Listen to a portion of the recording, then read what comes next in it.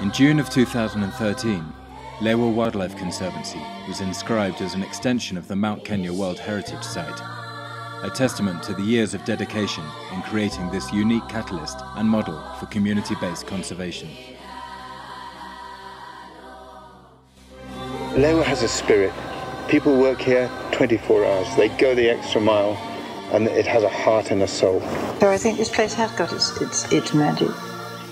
Certainly, I feel it and, and love it. The success of the Lewa Wildlife Conservancy is unquestionable. You only have to look at the thriving populations of wildlife, particularly of two notable highly endangered species, and the harmony with the surrounding communities to know that this is a model that works. A catalyst for conservation across this region of northern Kenya, and potentially way, way beyond. People who didn't have water, they have water. Women who didn't have businesses have businesses because we've been able to involve them. It becomes like my gasoline to move on. I can actually carry on.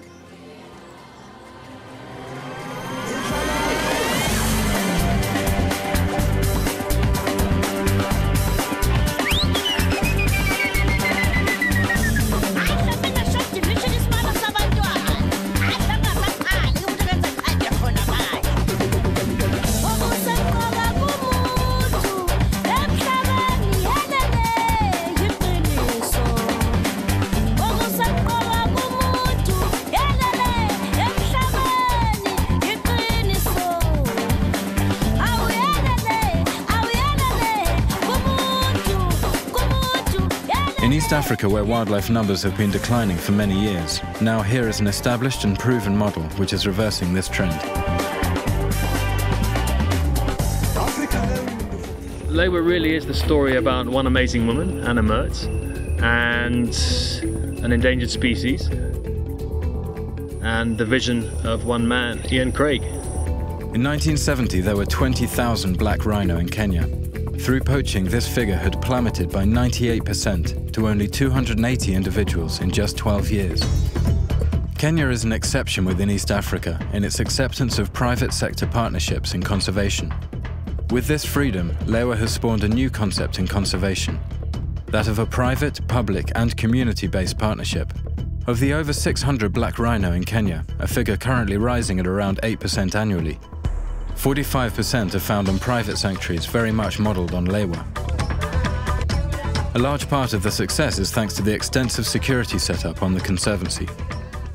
In the Lewa Security Department, we have well over 150 people, uh, 30 armed Kenya Police Reservists. They are armed by government um, and they're employed and managed by us.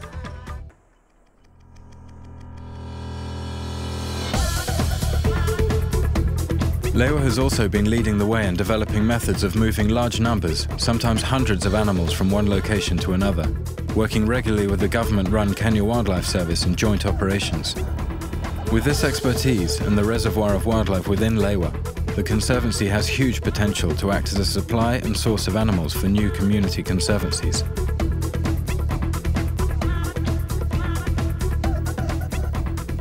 The Kenya Wildlife Service provide Lewa with a highly skilled vet. His salary is covered by Lewa, who also provide logistical support and assistance. This enables him to spread his expertise, providing timely and effective wildlife veterinary intervention right across the region.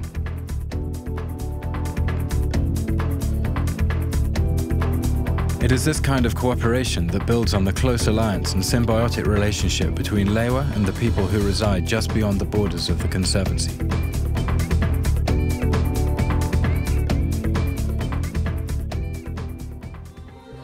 Lewa's vision extends well beyond the horizon, recognizing that the welfare of local communities is integral to the welfare of the ecosystems on which so much depends. Through healthcare, through education, through employment and uh, security to the people who live just the other side of the fence line. These communities act as a first line of defense. And we will receive information from them long before any poacher or potential poacher get foot into Lewa.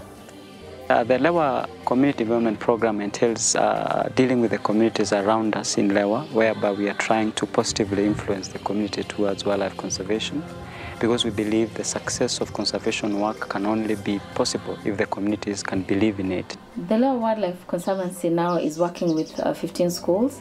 All these schools are government schools. The Lewa and Northern Rangeland Education Program is going to be uh, governed by stakeholders. We'll include the government, we'll include um, KWS, we'll include Lewa and NRT, and also representatives from the community so that the approach is holistic and the needs are coming from the community. We are happy that this is happening because out of this successful program we've had here, then we shall be able to do it elsewhere where it is needed. Lewa has become a catalyst for conservation in the region and the model many conservancies strive to emulate. A model for monitoring and protecting endangered species and managing habitat to maximize diversity. It has become a model for ensuring that conservation benefits local communities, a model for sustainable conservation and research, and a model through investment in self-generating revenue streams for securing that conservation in perpetuity.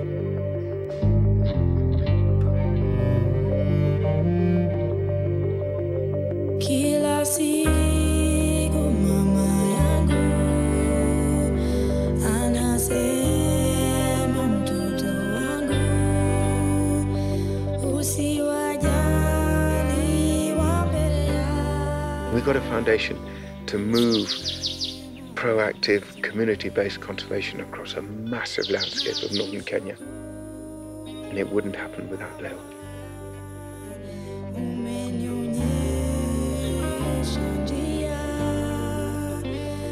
Kushukuru